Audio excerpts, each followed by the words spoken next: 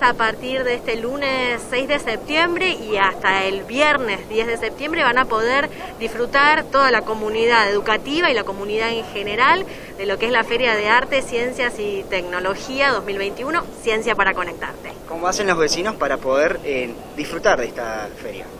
Bueno, esta feria, a diferencia de digamos lo que fue la feria años anteriores, donde toda la muestra se disponía en los tradicionales stands, es enteramente virtual.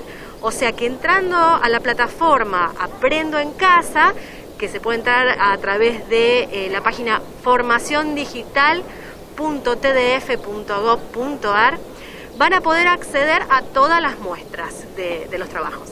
¿Quiénes realizan o quiénes participan de esta feria? Bien, están participando colegios, eh, o mejor dicho, docentes y alumnos de todos los niveles y de todas las modalidades educativas de la provincia. ¿Y las temáticas cuáles son?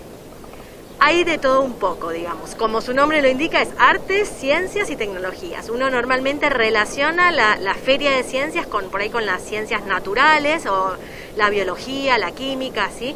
Pero tenemos, digamos, muchas muestras que tienen que ver quizás con eh, otras ciencias, como las ciencias sociales, eh, que tienen que ver quizás con la inclusión, que tienen que ver este, eh, con las artes, etcétera. Hay de todo un poco. Esta primera instancia es en zonal, pero habrá otra instancia, ¿no? Así es, esta es la instancia zonal que se hace por, por ciudades este, y entre el 4 y el 8 de octubre vamos a tener la instancia provincial, que también va a ser virtual.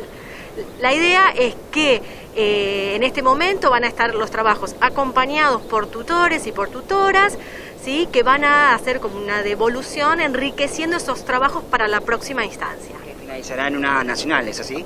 Así es, ahí este, la Feria Nacional va a ser, eh, eh, se va a llevar a cabo durante cinco días, los últimos días de diciembre, primeros días de, eh, perdón, últimos días de noviembre y primeros días de diciembre.